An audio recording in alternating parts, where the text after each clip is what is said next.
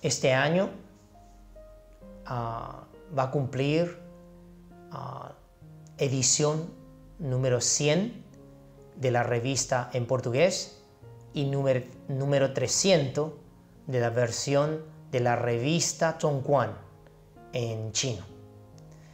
Y la maestra Inzi me pidió escribir un artículo o ah, algo corto para celebrar, festejar ah, estos acontecimientos. Entonces decidí hablar sobre ah, el tema de estilo Zhongguan. En 1993 el maestro Pusien inauguró el templo Zhongguan en San Pablo, Brasil.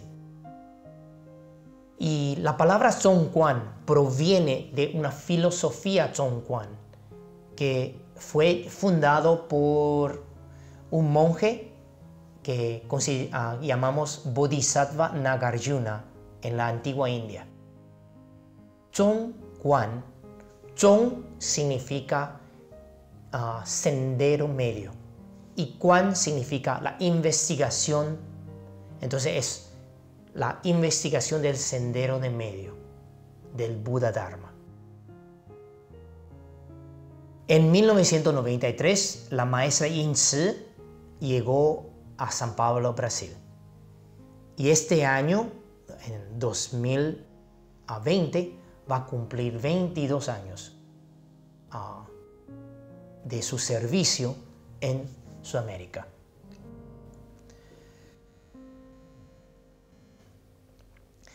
Y yo en 2009, ah, por el pedido del maestro uh, Pusien, ah, tomé cargo de viceabad y después abad del templo Zhongguan. En 2012, empezamos el emprendimiento de Centro Cultural Zhongguan. Y desde 2015 hasta 2019 ah, estuvimos en una expansión ah, del territorio ah, del templo. Y ya hemos terminado con esa expansión, sea en la calle Juan Grande o en Loreiro Batista. Ahora, ah, estamos en 2020 y es el año que yo considero que tenemos que establecer y también concretizar a estilo Zhongguan. ¿Y qué es el estilo Zhongguan? Primero, la transmisión de nuestro templo es budismo mahayana de Taiwán. Y porque es budismo mahayana, tiene dos aspectos. Tiene el aspecto de beneficio a sí mismo y beneficio a los otros. Y hay dos cosas que pues, se pueden explorar.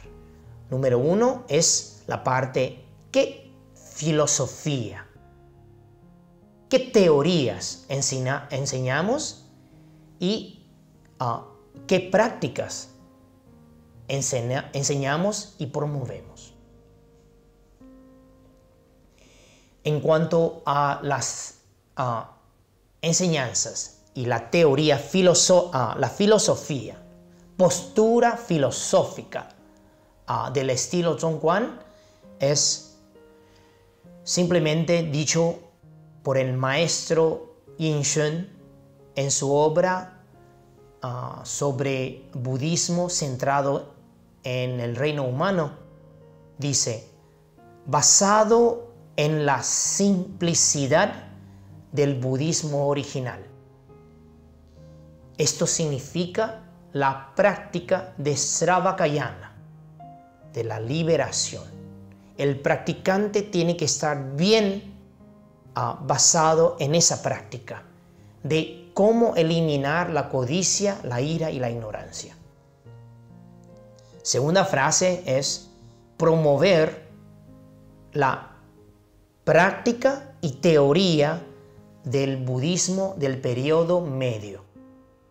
Y esto ah, refiere a la propuesta del camino de Bodhisattva, sendero de Bodhisattva.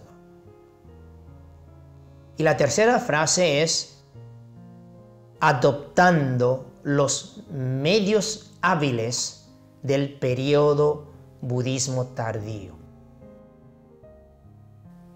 Eso es la postura filosófica del templo y del estilo Zhongguan. En cuanto a la práctica que nosotros hacemos y enseñamos, son tomar los tres refugios. Refugio en Buda, Dharma y Sangha. No refugio en uno o dos tesoros, sino los tres, Buda, Dharma y Sangha. Tomar y mantener los cinco preceptos y también preceptos y votos de Bodhisattva. Parte de la práctica también es recitación de mantras, recitación de nombre de Buda y también hacer a ceremonias de arrepentimiento. En cuanto a la meditación, nosotros enseñamos a la recolección o recordar del Buda, las virtudes del Buda. Atención plena en la respiración. Los fundamentos, los cuatro fundamentos de la atención plena.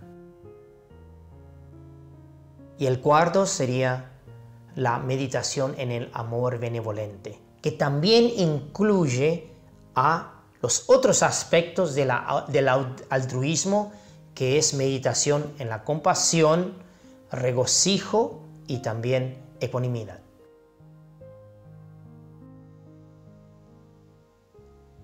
En la alimentación del estilo Zhongguan, nosotros ah, mantenemos y promovemos a vegetarianismo.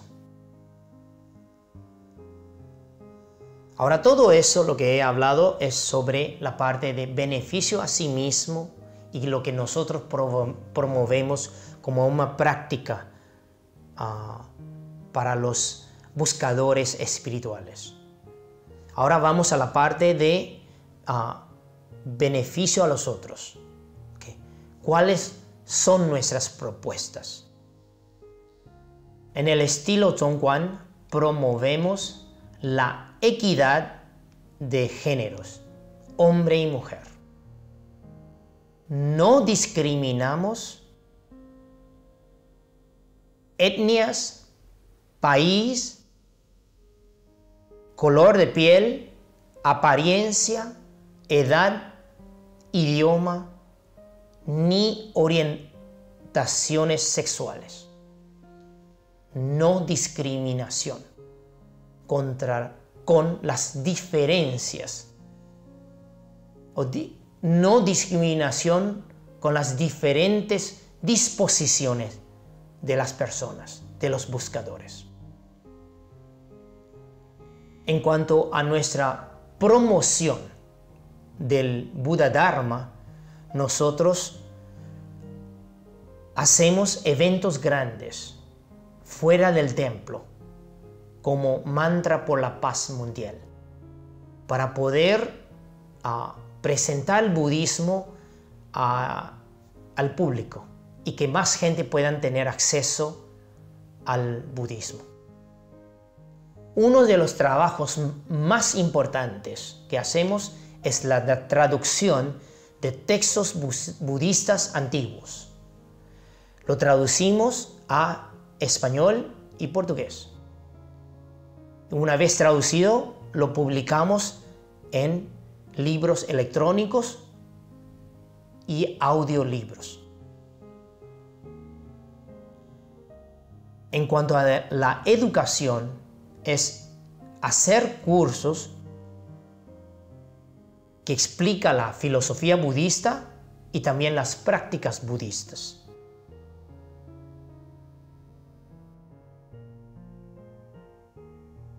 Una de las cosas más importantes es el profesorado.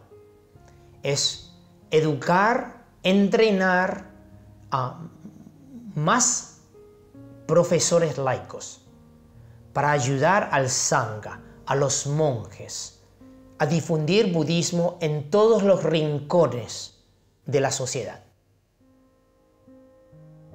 Para concluir, promover budismo, traer budismo a los países no budistas como América del Sur ah, no es fácil. Para que budismo desde cero hasta enraizar aquí en Sudamérica, estamos hablando de 200 a 300 años de inversión de tiempo y esfuerzo. Entonces eso requiere paciencia infinita de nosotros, el Sangha y también los laicos devotos que nos ayudan. Nosotros tenemos que poner nuestro 100%, nuestro esfuerzo, pero sin buscar o sin tener expectativa ah, de resultados. Y hay que poder transitar en ese camino de bodhisattva ah, sin ah, tener expectativa. Y hay un dicho en budismo que dice así, el bodhisattva se ocupa de sembrar sin pensar en la cosecha. Y entonces todo lo que yo hablé son contenido de estilo de Zhongguan. Y esperamos que todos ustedes puedan transitar en este camino con nosotros. Namofo.